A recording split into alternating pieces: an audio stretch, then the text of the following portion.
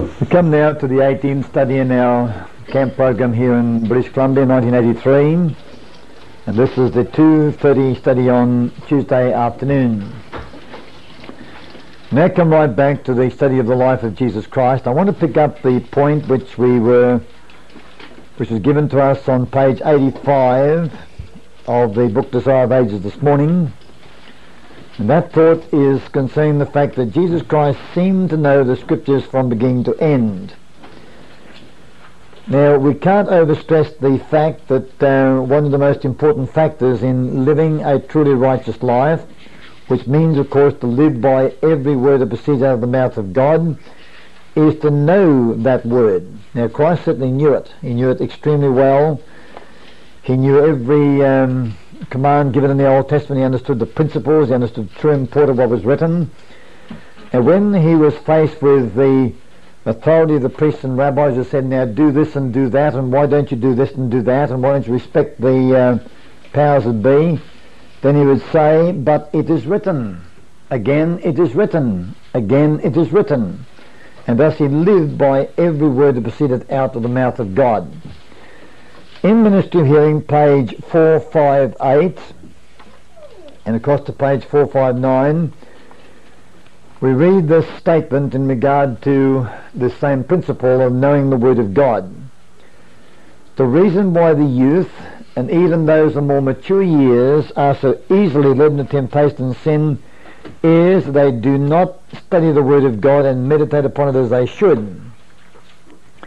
Now, if we take that sentence and uh, instead of relating it to the ordinary person's experience, relate it instead to Christ's experience, we'll find it would read as follows. The reason why Jesus was not led into temptation and sin is, is because he did study the Word of God and meditate upon it as he should. Whereas, of course, um, the reason why many others of us do not uh, overcome sin is because we do not study God's Word and meditate upon it as we should. Now read further. The lack of firm, decided willpower, which is manifest in life and character, results in neglect of the sacred instruction of God's Word. They do not, by earnest effort, direct the mind to that which would inspire pure, holy thought and divert it from that which is impure and untrue. There are few who choose the better part, who sit at the feet of Jesus, as did Mary, to learn of a divine teacher, few treasure his words in the heart and practice them in the life. The truths of the Bible received will uplift mind and soul. If the word of God were appreciate, appreciated as it should be, both young and old would possess an, would possess an inward rectitude, a strength of principle that will enable them to resist temptation. Now, did Jesus Christ receive the word of God as a boy? Most certainly. What was the result? His mind was uplifted, and so was his soul. He appreciated the word as, it should be appreciated, and he possessed an inward rectitude, a strength of principle that, that enabled him to resist all temptation. Now, we're looking now at the story of the days of conflict in the life of Jesus Christ to find out that from every possible direction Satan brought tremendous pressure to bear upon that young mind and that young soul in a desperate effort to lead him to turn aside from the written word from, and from God's direct commandments to follow the ways and traditions of men. They tried to trick him, to seduce him, to impress him, to coerce him, to force him, but every effort on their part completely failed.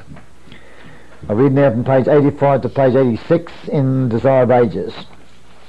And, and we're, we're looking now for a, a succession of pressures at, at various levels against the Son of God. They, that is the uh, Jewish uh, teachers and rulers, knew that no authority could be found in Scripture for their traditions. They realized that in spiritual understanding Jesus was far in advance of them. Yet they were angry because he did not obey their dictates Failing to convince him, they sought Joseph and Mary and sought, set before them his course of non-compliance. Thus he suffered rebuke and censure. So now, let's write on the board now the various levels of pressure brought to bear against Jesus Christ. We'll put here again the name of God his Father, and Christ down here whose task it was to receive orders from his father and to obey those orders, while of course obeying his mother as far as that was consistent with the commands of God.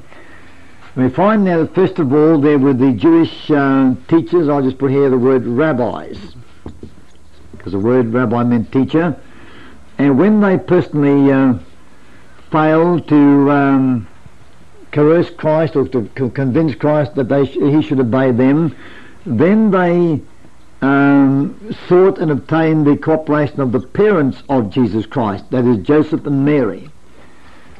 As we just read, failing to convince him, they sought Joseph and Mary and set before them his course of non-compliance. Thus he suffered rebuke and censure. Now, uh, whom did the parents naturally tend to favour in this in this drama? The rabbis. Why? because as we, as we said in our last study period, the rabbis had worked very hard over the centuries to establish their position of authority so that the people would fear them and respect them and obey them, and of course they would guarantee their, um, their financial base of operations. In a little while we come to the story of John the Baptist, in the, in the very next chapter, there might be two, we find that when the representatives from Jerusalem, not, not the next chapter, it's right down uh, in the chapter called We Found the, you know, the Voice in the Wilderness, right? And um, in that particular chapter we find that um, when when the Jewish when the delegates from the um, there's a chapter called We Have Found the Messiah on page 133 and the delegates from the Sanhedrin arrived at the baptismal site where John the Baptist was preaching, and the scripture, the scripture says, A multitude were gathered, listening to his words when the delegates approached with an air of authority designed to impress the people and to command the deference of the prophet. The haughty rabbis came with a the, haughty rabbis came with a movement of respect, almost of fear. The crowd opened to let them pass. The great men in their rich robes and the pride of rank and power stood before the prophet of the wilderness. So built into the minds of the people there was, was a fear of these haughty religious leaders. When I was just an early teenager, I used to enjoy reading uh, medieval church history. The story of the Reformation in England, in Germany, in the Netherlands, in uh, Switzerland and so forth. And I recall once reading about the way in which the Roman Catholic priests kept the people under their command in England.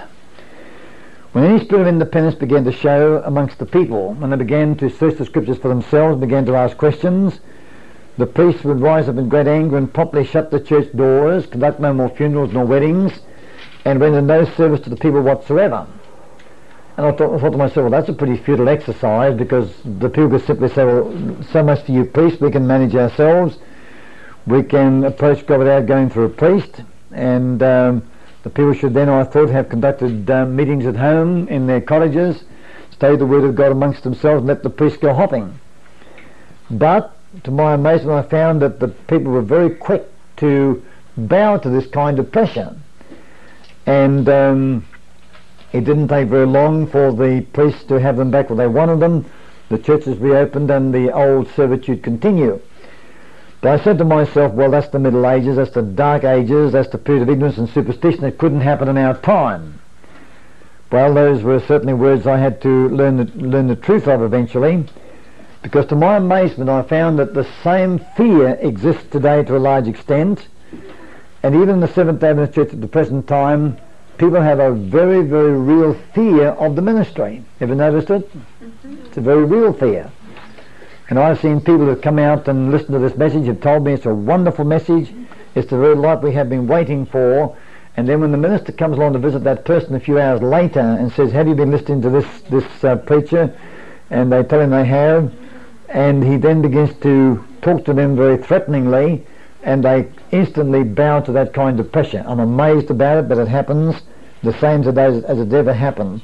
And in the days of Jesus Christ, the rabbis had a grip on the minds of Jesus' parents, and it was not difficult for them to, to get their cooperation in bringing pressure to bear upon Christ. And his mother, I, I dare say in particular, must have rather tearfully suggested to Jesus Christ he ought to pay more respect to the religious leaders. To which Christ would answer, the boy Christ would answer very respectfully that he could not unless they brought to him the requirements of God's word. Now, as we read on page 86 further, it goes on to say, at a very early age, Jesus had begun to act for himself in the formation of his character, and not even respect and love for his parents could turn him from obedience to God's word. It is written, was his reason for every act that, that varied from the family customs. But the influence of the rabbis made his life a bitter one. Even in his youth, he had to learn the hard lesson of silence and patient endurance. Now, when we today claim the promises of God in regard to our children, remember that uh, I read to you yesterday from the same book, Desire of Ages, page 17, that every child may gain knowledge as Jesus did. Which means, of course, that the ministry of the Holy Spirit will be given to our children to teach them very accurately the great and profound truths of God's Word. And it is very possible that because of that, children may even advance beyond our level of experience if we, if we don't watch ourselves and maintain a very close communion with God ourselves. And most certainly back there, Jesus Christ had advanced well beyond the experience of his parents, hadn't he? That is, his earthly parents, his mother and stepfather, well beyond their experience. And because of that, the poor child had to act very much on his own to maintain that level of experience developed in him through the ministry of the Holy Spirit. So, so as I said uh, in the last couple of days, the work of saving our children is a work of saving ourselves. As a, as a parent ministers to the child, the child in turn ministers back to the parent. And uh, the parent must therefore be very diligent to ensure that he does, that he and she do remain well ahead of their children in the work of character development and spiritual experience, so that our children will find a companionship in their parents such as Christ did not find in his parents. We should walk together as a united family unit, the parents leading the way and the children following all the way through until they finally, of course, become adults themselves and move out to live an independent life. so then the life of Jesus Christ was made a bitter one because he had to walk so totally alone even in his childhood. But despite that pressure, what did he maintain? His holiness, which was his obedience and his faith. Of course, um, this made things rather complex because no doubt, he, no doubt, with great certainty, of course, he had to sort out how to maintain the delicate balance between parental obedience and, and obedience to his heavenly Father. And uh, there were times, of course, when he had to actually disobey his parents in order to maintain his trust in God. Because when they said to him, please respect the rabbis and do as they say, could Christ obey that kind of command? No, he couldn't. So therefore, in some respects, he would be looked upon as, as a disobedient child, whereas in fact, of course, he was being obedient to the higher power of his Father up in heaven. Now let's look now at the next um, group of people that brought pressure to bear upon Jesus, and those were his brothers. Right, so we'll put down now his brothers. They were not, of course, his full brothers, they were the sons of Joseph. as we now read, his brothers, as the sons of Joseph were called, sided with the rabbis. They insisted that, they insisted that the, that the traditions must be heeded if they were as if they were the requirements of God. They even regarded the precepts of men more highly than the, than the word of God, and are greatly annoyed at the clear penetration of Jesus in distinguishing between the false and the true. His strict obedience to the law of God they condemned as stubbornness. They were surprised at the knowledge and wisdom he showed in answering the rabbis. They knew that he had not received instruction from the wise men, yet they could not but see that he was an instructor to them. They recognized that his education was of, a type, was of a higher type than their own, but they did not discern that he had access to the tree of life, a source of knowledge of which they were ignorant. Now, were these brothers of, uh, or these so-called brothers of Jesus, older or younger than he? They were older, right? They were the sons of Joseph by a previous marriage. Now, when they were older than he, what did they feel that that, that um, seniority gave them in respect to Christ? What should younger brothers do to older brothers? Tell them what to do and obey. That's right. They expected to obey the older brother. I noticed in the little book uh, Child Guidance, statement by Sister White that says that we should take a special care to train the firstborn child because he or she will become the educator of the ones who come along afterwards. And therefore, the more faithfully we, train, we train the firstborn child, then the influence of that child will have a good effect upon the other children. So those brothers claimed then, they said, now we are older than you, and because we are older than you, you should obey us and your parents and the rabbis. Now, the parents and the rabbis agree with us, and that makes three to one. There's three classes to one class, more than three people, of course, and therefore you ought to obey us because of who you are, namely the younger child in the family. But is that a guideline for behaviour? No, it's not. What is the only guideline? Every word that proceeds out of the mouth of God. That's the only guideline. But of course, those brothers did not respect that guideline. We find that every principle of their lives was a wrong principle. That, for instance, they said you must heed the traditions, even as if they were the requirements of God. They regarded the precepts of men more highly than the word of God and they were irritated, greatly annoyed at the clear penetration of Jesus in distinguish, distinguishing between the false and the true. Now these these brothers then were were possessed of that satanic spirit, that satanic darkness, which prevents a person from intellectually assessing the evidence. In other words, they were, they were moved by emotion, they were moved by prejudice, they were moved by pride and by opinion. And those emotions governed their lives so they were not able to pay any respect to that which ought to have been respected, and that is the, then that was a superior dignity, the superior knowledge, the superior righteousness and purity of the life of Jesus Christ. What they should have done was, was to recognize that and then come to Christ and had Him teach them. If they'd done that, of course, they would, they made a very wise move on their own behalf. Now we'll move on now to find another pressure source that Satan used to um, bring uh, the burden to bear upon Jesus. Again, I read from page 86 in the same book, Desire of Ages. Christ was not exclusive, and he had given special offence to the Pharisees by departing in this respect from their rigid rules.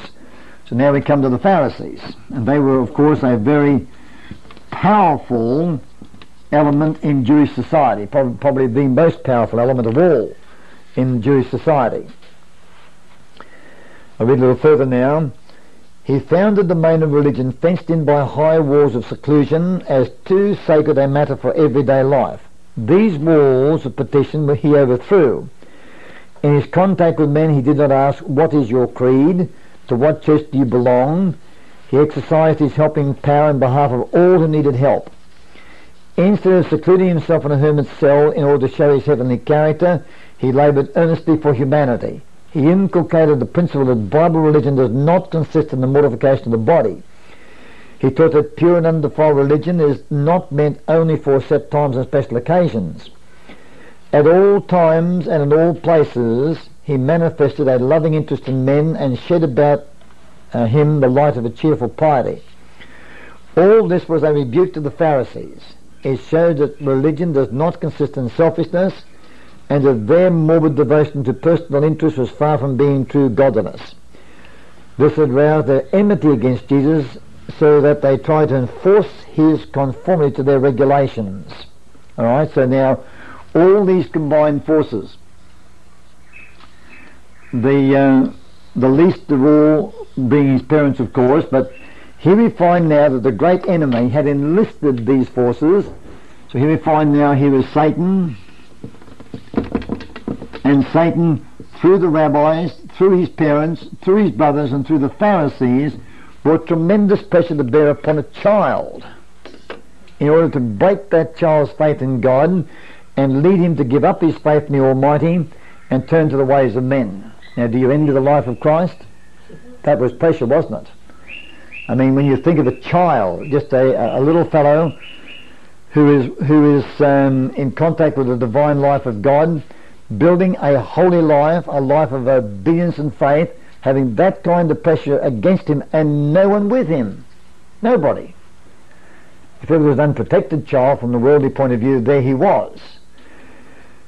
Now, if Jesus Christ and the power of God could maintain a path, a life of unfailing obedience and perfect faith against that kind of pressure in that kind of environment, then what excuse do we have for, for, for sinning?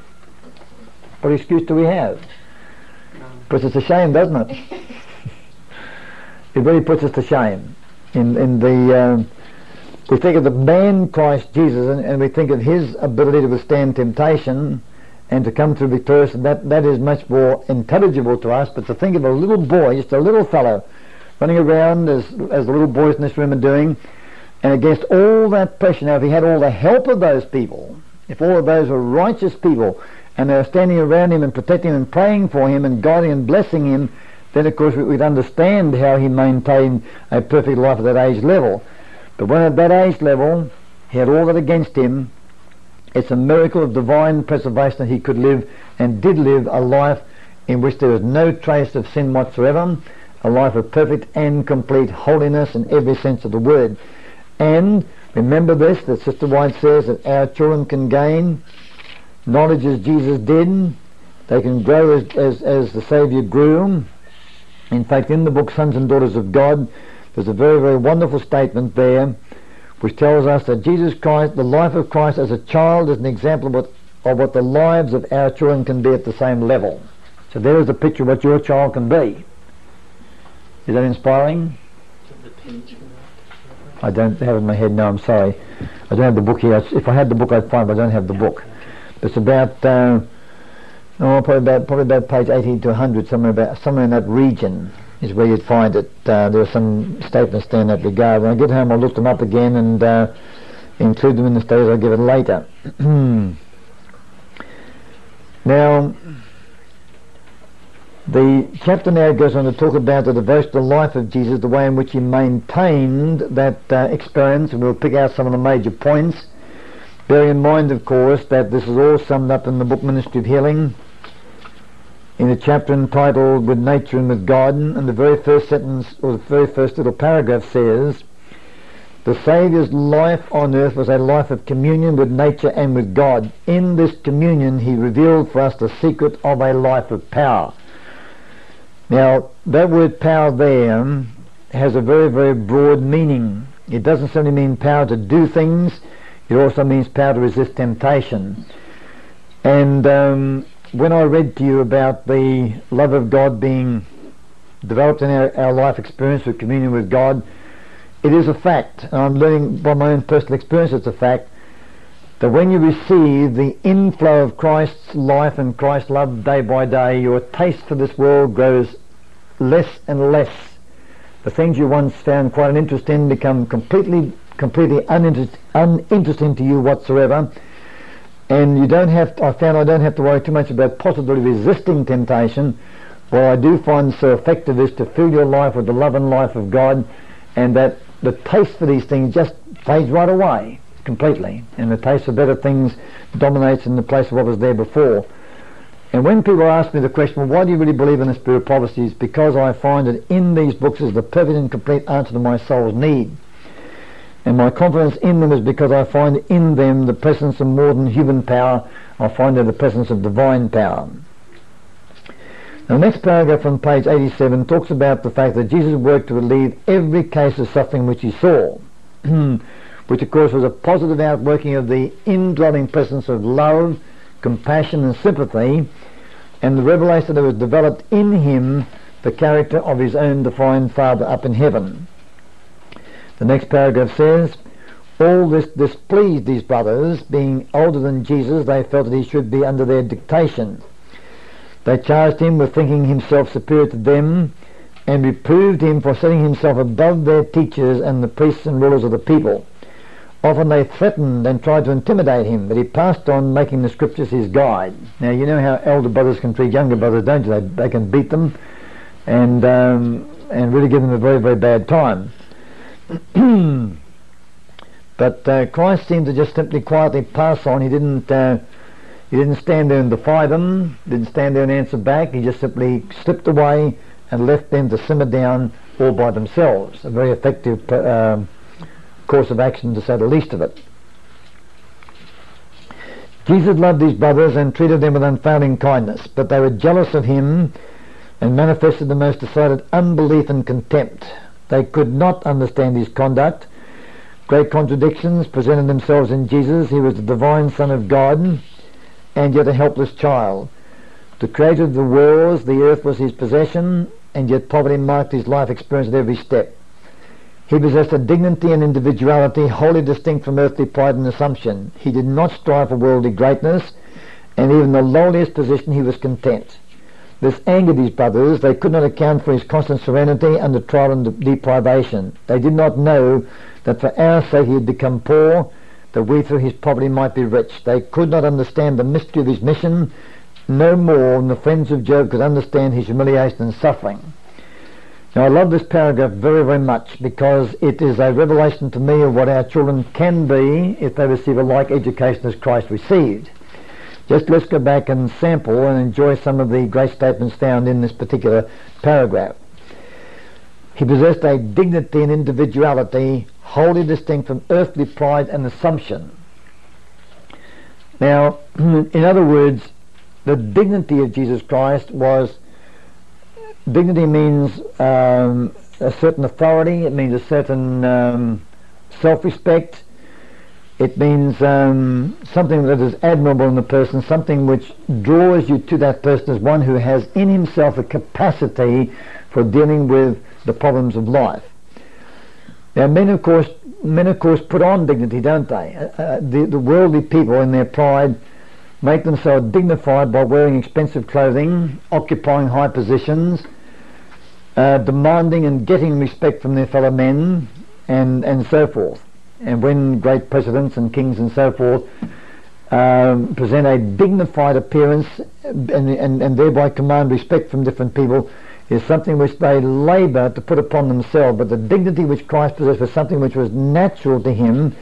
It was an endowment received because of the possession in him of the living power of God. and that dignity, of course, uh, commanded respect from others and was a protection to him physically, mentally, and spiritually. Now, the next par- uh, sentence says he did not strive for worldly greatness, and in even the lowliest position he was content. Now, with the true child of God, position is the least important thing in the world, right? If you find this more and more in your own experience, it becomes less and less important. Whether, whether you occupy a great position or a lowly position doesn't matter. In fact, um, it is always when a church um, or before a church begins to apostatize that you that you find that there are no such things as popes or presidents, elders, bishops, and such like, in the sense of those being superior positions. A.T. Jones has some very wonderful thoughts on this in the book Lessons from the Reformation.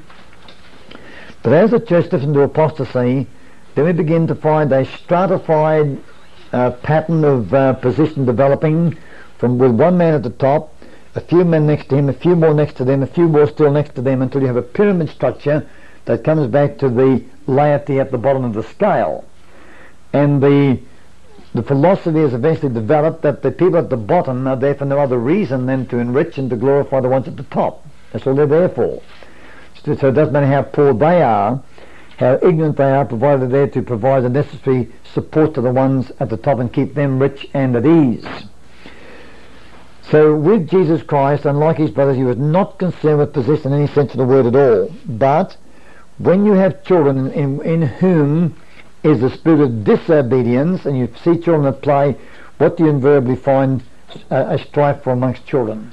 The top place, don't you? They, fight for leadership. They want to be the one that rides the tractor or the bicycle. They want to be at the top and have the rest following. And there's many, many, many, many conflicts arise amongst children because that spirit is right there from the very beginning. But in Jesus Christ, the spirit wasn't there. And it will not be there in those of our children who, like him, receive the same kind of training and education. Now, his brothers could not understand for his continual serenity now, serenity, of course, is peace, it's rest. And Jesus Christ therefore understood the Sabbath rest principles. He followed those principles and therefore he entered into God's rest even under trial and deprivation.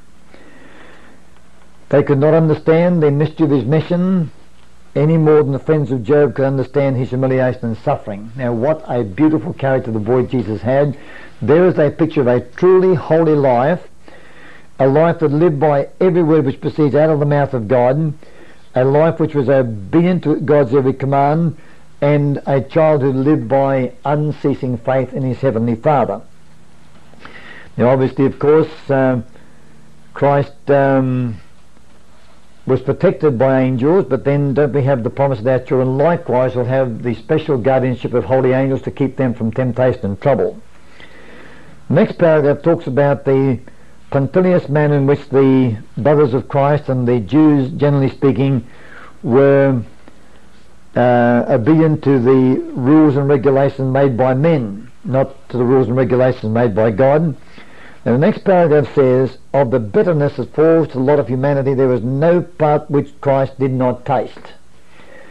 Remember a few years ago when we studied the incarnation of Jesus Christ, we dwell heavily upon the text which says that Christ was tempted in all things like as we are tempted yet without sin. Remember that scripture from Hebrews? And now we find that that is, and of course the emphasis back there was a message to the adults more than the children. And the emphasis back there was that Christ is an example to grown-up people, a proof that they do not need to fall into sin because he has gone that way before us and suffered every temptation that we can possibly suffer. But here we find that as a child of, of the bitterness that falls to the lot of humanity, there is no part which Christ did not taste. So if you find yourself misunderstood and persecuted by the religious teachers of today, so was Christ as a child. If you find your parents against you, so Christ experienced that as a child. If you find your relatives and brethren are against you, Christ has been that way before you. And if you find that the, that the rulers are against you, Christ also experienced that. So what can you experience even as a child that Christ did not experience as a child? Nothing. He's tasted every bitterness, every opposition, every difficulty, every pressure which can ever be brought to bear upon mankind, and he maintained in that a life of perfect and varying holiness, true obedience, living by every word which comes from the mouth of God, and demonstrating no matter how great the pressure may be upon anybody, we can bear it as Christ bore it, and our children can go unscathed through these things as well. Now, if you find then that in your situation God does not deliver your children from state school, which may be quite possible, don't be discouraged, but remember that with all these provisions, if that child is where God permits him to be, God will keep that child in that environment. He'll come through it unscathed as Jesus came through it unscathed, even in that wicked city of Nazareth. In the past, of course, we put too much emphasis on getting our children a good environment. We now need to recognize that they need to have a good character or a good life in them. That's where the emphasis must be placed. I'll read a little further now. There were those who tried to cast contempt upon him because of his birth and even in his childhood he had to meet their scornful looks and evil whisperings. Now what did they call him? An illegitimate, didn't they? Right? Or a bastard, which is the word we use these days to describe that kind of person. Now, today, of course, uh, because of the breakdown in morals and, and for other reasons too, or based on a false morality, let me put it that way, because because no true Christian will ever ever disparage a person because they may have had an unfortunate birth, will they? True true morality will never do that. But there was a false morality back there, a false righteousness which grossly uh, exaggerated one particular sin, namely adultery, above all other sins. That became the great sin that you just didn't do. And um, in those days, to be described as an illegitimate was indeed to heap upon a person the utmost contempt and scorn. And uh, the parents of the children back there saw to it that Jesus Christ and the Pharisees too saw to, saw to it that Jesus Christ was given that very, very disparaging category. He had, if he had responded in, by an impatient word or look, and note that if he, if he had responded by an impatient word or look, if he had conceded to his brothers by even one wrong act, he would have failed of being a perfect example. Thus, he would have failed of carrying out the plan for our redemption. Had he even admitted that there could be an excuse for sin, Satan would have triumphed and the world would have been lost. This, this is what attempted work to make his life as trying as possible that he might be led to sin. Now, Satan, of course, is an expert, and when he labours to make a person's life as trying as possible, And when he has all these agencies at his command, and when he has when he has the victim isolated, then is Satan able to, to give a person a bad time? Yeah. He certainly is.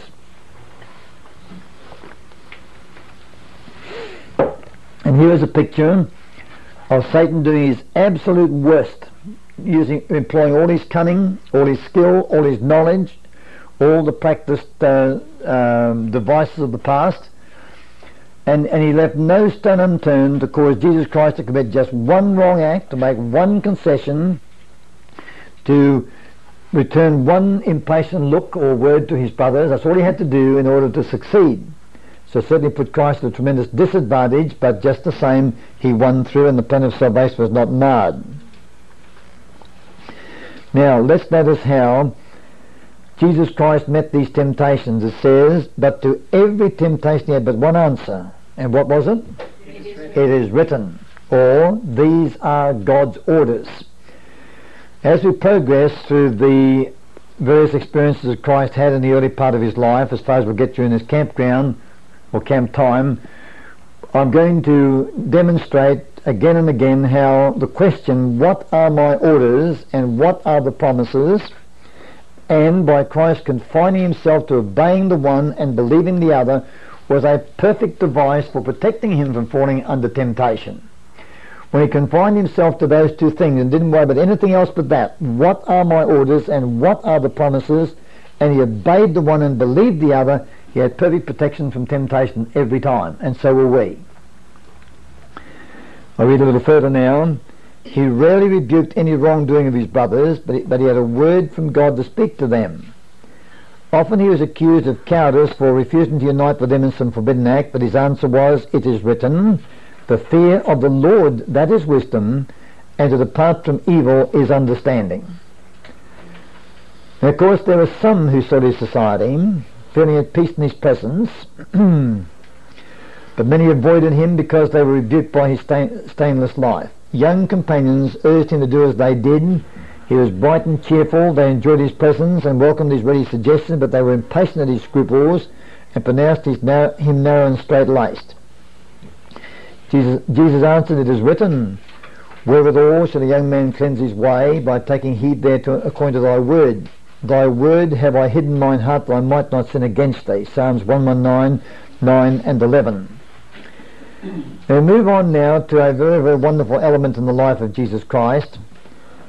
And it was the fact that he never ever contended for his rights. Now, did Jesus Christ have rights? Everybody has, don't we? We all have rights, but Christ never contended for them. And uh, if a person sought to deprive him of his rights, he let that person deprive him of his rights. Often his task was made unnecessarily severe because he was willing and uncomplaining. Yet he did not fail nor become discouraged. He lived above these difficulties as if in the light of God's countenance. He did not retaliate when roughly used, but bore insult patiently. Again and again he was asked, Why do you submit to such despiteful usage, even from your brothers? It is written, he said, and here's his answer My son, forget not my law, but let thine heart keep my commandments, for length of days and long life and peace shall I add to thee. Let not mercy and truth forsake thee. Bind them about thy neck, write them upon the table of thine heart. So shalt thou find favour and good understanding in the sight of God and man. Now, this paragraph is well worth some consideration. The question was asked him, why do you submit to such despiteful usage even from your brothers? Why submit to this usage? Now, the alternative was, the brothers said to him, now either you will do as we say or we shall give you some despiteful usage. We'll, we'll treat you very badly. So Christ was given the choice as a child between obeying the ways of his brothers and therefore the ways of men or suffering on account of his refusal to do so. And always he chose quiet submission to the bad treatment. Now later on, of course, John the Baptist, um, Christ's counterpart, and Christ himself too for that matter, but when, for instance, John the Baptist was placed in prison, what was he suffering? He was suffering despiteful usage. For what reason? He would not depart from the ways of God, and John John patiently submitted himself to that despiteful usage in the prison cell, the suffering and punishment he had there, in order to maintain his living faith in the gospel of Jesus Christ. Now, um, Christ, the the word here could have said that Christ suffered despiteful usage, but said he submitted himself to it. Now, in the struggle that uh, we shall go through during Jacob's trouble, as we saw yesterday, there will be a reluctance upon our part to submit ourselves to the rigours and trials of that period, the despiteful usage of that period. We'll fight against God as we try very hard to escape from that kind of punishment instead of submitting to it. But Jesus Christ in his very childhood submitted to whatever the cost of believing the gospel was, whatever persecution might bring, whatever deprivation, whatever hardship, whatever bitterness, whatever scorn, whatever contempt. He submitted himself to it all uncomplainingly, gladly enduring all that for the sake of the message and mission which he'd come to, to teach and to, and to fulfill. Now his answer was, why do you submit? The answer was, my son, forget not my law, but let thine heart keep my commandments, because they will give him length of life and so forth. Now, can we today, and this is a good question to approach at, the, at this point in time, are we able today to see what Christ saw in God's commandments?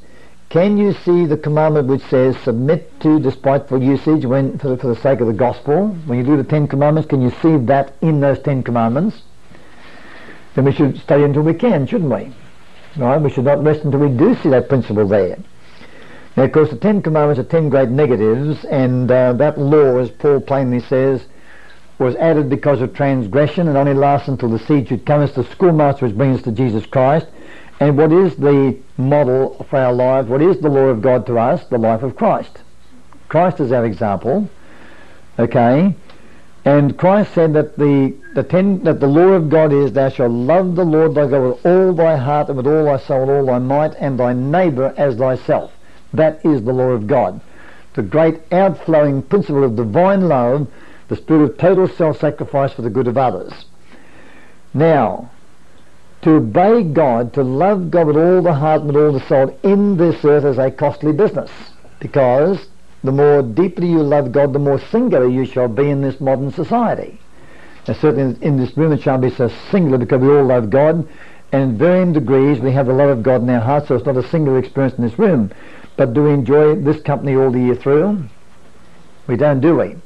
We go back to the bitter world from which we've come into, into this seclusion for a few days, and out in that bitter world you're a very singular person, as you have the love of God in your heart. And inevitably, in, in your divided families, in your work programs, wherever you may go, you're going to find that you'll have to submit to misuse, misunderstanding, contempt, and so forth on the part of those who are around you.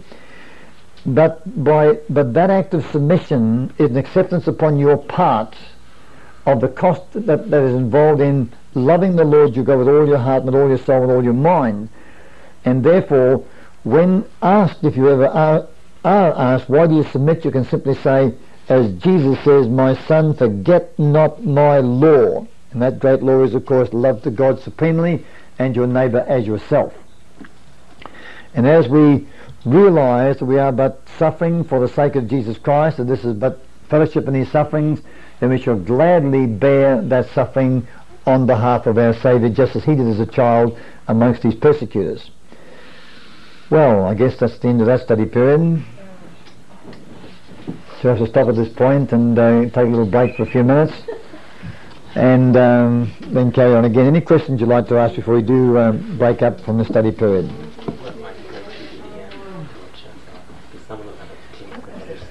Right, no questions then. It's now 25 uh, past 3. Let's come back at 20 minutes to 4. It gives a 15 minutes break and we'll then resume.